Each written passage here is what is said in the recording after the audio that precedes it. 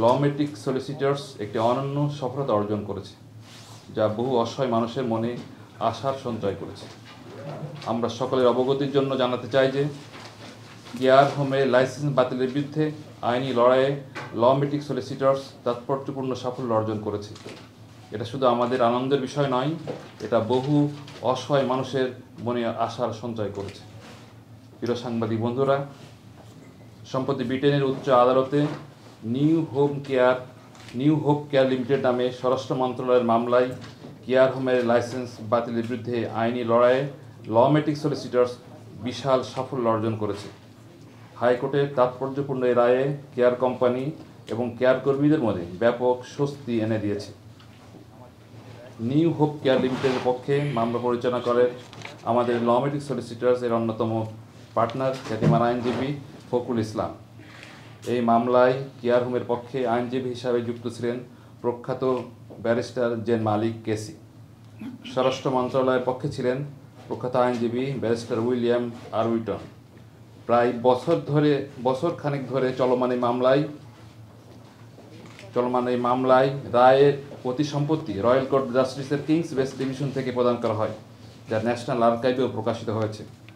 এই রায়টি এখন হাইকোর্টের হাইকোর্ট সহ সকল নিম্ন আদালতের জন্য দৃষ্টান্তমূলক হিসাবে গণ্য করা হবে। যথাযথ জবাবের সুযোগ না দিয়ে নিউ হোপ কেয়ারের লিমিটেডের লাইসেন্স বাতিল করা বেআইনি ঘোষণা করেছেন হাইকোর্টের মহামান্য জজ ডেভিড কেসি। মামলা রায়ে বলা হয়, এটি সরকারের প্রকাশিত নীতির সাথে অসঙ্গতিপূর্ণ। আইনগত প্রত্যাশার বিপরীত এবং আইন এবং সাধারণ আইনে পদ্ধতিগত অন্যায় পদ্ধতিগতভাবে অন্যায্য। মাননীয় আদালত নিউ হোপ কেয়ার লিমিটেডকে যথাযথ আর্থিক ক্ষতিপূরণের নির্দেশ দিয়েছেন। মামলার বিবরণ থেকে জানা যায়, নিউ হোপ কেয়ার একটি বড় কেয়ার কোম্পানি, এটি যেসব অসহায় ব্যক্তিদের যত্ন পরিষেবা প্রয়োজন তাদের সেবা প্রদান করে। দুই সালে জানুয়ারিতে ব্রিটেনে সেটেল নয়, এমন কর্মীদের স্পন্সর করার অনুমতি দেওয়া হয় এই কোম্পানিকে। দুই হাজার তেইশ সালের সাতই অগস্ট হোম অফিসের একটি কমপ্লায়েন্স দল স্পন্সর হিসাবে উপযুক্ততা মূল্যায়ন করার লক্ষ্যে নিউ হোপ কেয়ার লিমিটেডের পরিদর্শন করেন। এক সপ্তাহ পরে চোদ্দোই আগস্ট নিউ হোপ কেয়ারের লাইসেন্স সাসপেন্ড করা হয়। কমপ্লায়েন্স পূরণে ব্যর্থতার অভিযোগে তাদের লাইসেন্স সাসপেন্ড করা হয়। তখন হোম কেয়ার অফিস লাইসেন্স স্থগিত করা হয়। তখন হোম অফিস কর্তৃক স্থগিত চিঠিতে বিস্তারিত কারণ জানাতে অপারগতা প্রকাশ করা হয়।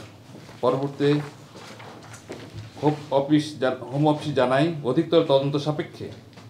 নিউ হোপ কেয়ার লিমিটেডকে জবাব দেওয়ার যথোপযুক্ত সুযোগ প্রদান করা হবে। কিন্তু পরে যথার্থ জবাব সুযোগ দেওয়া, যথার্থ জবাব দেওয়ার সুযোগ না দিয়েই নিউ হোপ কেয়ারের লাইসেন্স বাতিল করা হয়।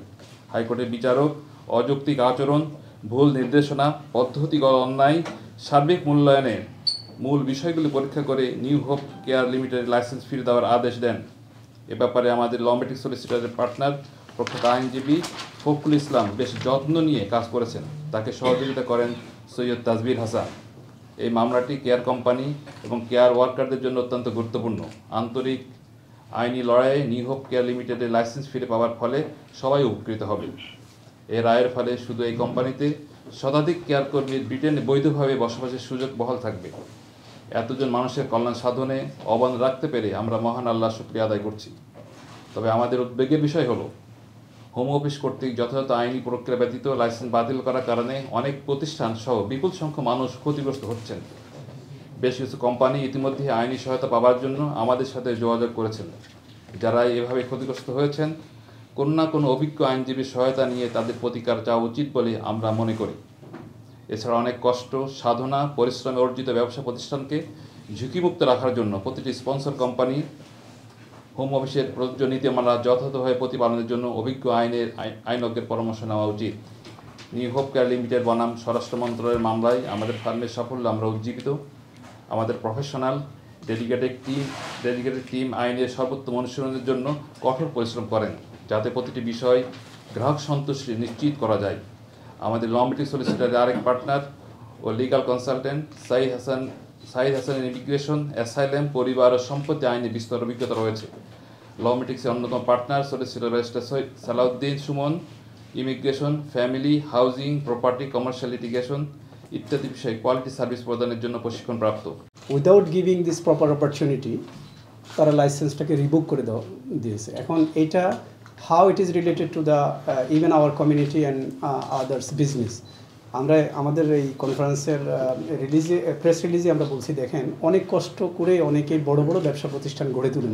বিশেষ করে যারা কেয়ার হোম চালান, এটা কিন্তু একটা ছোটোখাটো বিজনেস না। যেমন আমাদের এই পার্টিকুলার মামলায় কিন্তু more than three point five million ওদের টার্ন এই ধরনের একটা কোম্পানি দুশো ছাপ্পান্ন জন এমপ্লয়ি সহ অনেক কষ্ট করে কিন্তু এই ধরনের একটা কোম্পানি এই পর্যায়ে নিতে হয়। হোম অফিস যখন তাদের লাইসেন্সটা বাতিল করে দেয়, তখন সবাই ইমিগ্রেন্ট যারা, তাদের প্রত্যেকেরই ভিসা কাটেলমেন্ট হবে, তাদের ফ্যামিলিগুলো এখানে থাকতে পারবে না, তাদের নিজেদের তারা নিজের ওভার স্টেয়ার অবৈধ হয়ে যাবে। এই ধরনের মানে হিউজ কনসিকুয়েন্স আছে।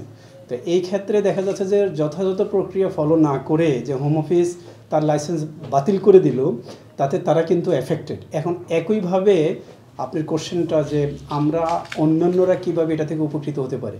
নাম্বার ওয়ান হচ্ছে যে হ্যাঁ আপনি যেটা বলেছেন যেটাকে একটা আইন হলো ইয়েস এটা এখন একটা আইন। কারণ এই দেশে আইন তৈরি হয় দুইভাবে। একটা হচ্ছে যে স্ট্যাটিউটরি ল অর্থাৎ পার্লামেন্ট কর্তৃক যে আইনগুলো তৈরি হয়, সেটা আইন আর একটা হচ্ছে কমন ল যে আইনগুলো জাজ মেড ল অর্থাৎ এই দেশের upper tribunal high court supreme court তারা যে জাজমেন্ট দেয়, এই জাজমেন্টটা প্রেসিডেন্ট হিসাবে mandatory to follow the all courts in the UK this is also a law this is call common law so এখন এই মামলার জাজমেন্টের কারণে এটা একটা common law yes it is a ল এই লটা এখন অন্যান্য সমস্ত নিম্ন আদালত ফলো করতে বাধ্য। তারা ফলো করবে যে এই ধরনের আইনি প্রক্রিয়া ফলো না করে কোনো লাইসেন্স যদি আরও বাতিল করে, তাহলে এটা অবৈধ হিসাবে গণ্য হবে এবং অন্যান্য বিজনেস প্রতিষ্ঠানগুলো এখান থেকে মানে সরাসরি লাভবান হচ্ছে।